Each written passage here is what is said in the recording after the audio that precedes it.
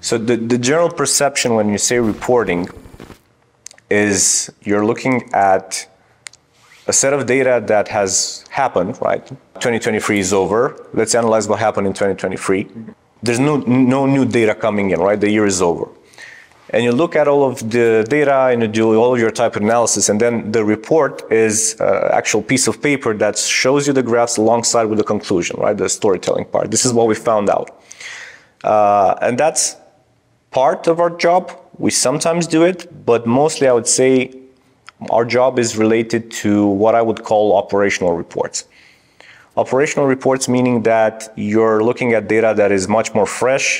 I would say on average, maybe 85% of the cases done on a daily batch. So the next morning you come in the office, you can see what happened yesterday. Okay. Every day we're reloading this data and uh, refreshing these reports.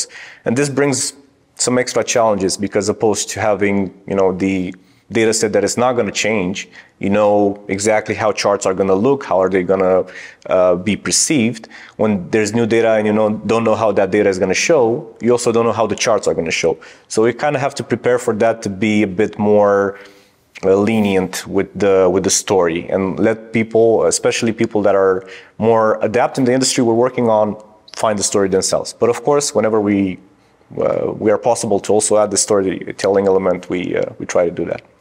Yeah, so the storytelling element would be the conclusion. Yeah, Like, yeah, it's yeah. good, it's bad, it's growing, it's not growing, you're doing better than the competition. Overall, the whole the whole way you pack that information, the chart alongside the the, the little text that pinpoints you to that exact conclusion. Yeah. Or maybe even some actions that might be recommended as a consequence of the data, right? Like, you, you, should, you should do this. Exactly, exactly. If you're lucky enough to be able to do uh, prescriptive analytics, uh, which is exactly what you're referring to, then yes, also suggestion. I just found out how they're called. So descriptive is when you you just tell what what happened.